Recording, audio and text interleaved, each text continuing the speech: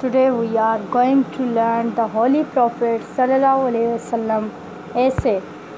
The Holy Prophet sallallahu alaihi wasallam, Hazrat Muhammad sallallahu alaihi wasallam, the Prophet of Islam, was born in 571 Hijri, Hijri at Makkah. He belonged to the noble family of Quraysh. The Quraysh used to worship idols and did not believe in one God. They were suffering from many social and moral evils. Hazrat Muhammad sallam, asked asked the Quraysh not to worship their false gods. He asked them the, to worship the one and uh, only true God. The Quraysh opposed our holy prophet. Their opposition became so fierce and terrible that he had to ask the believers to migrate to Medina in 1622 Hijri. The Holy Prophet ﷺ migrated to Medina. This event is known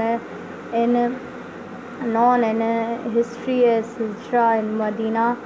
The Holy Prophet ﷺ founded an Islamic society. He raised women from the status of a chattel to complete legal equality with men in the 10th year of Hijrah, the Holy Prophet, together with his followers, went to perform Hajj at Makkah on his historic occasion.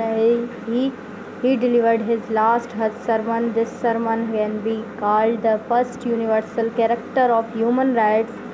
All thought the Prophet ﷺ is no more with us we is no more with us. We have the Holy Quran to give us guidance.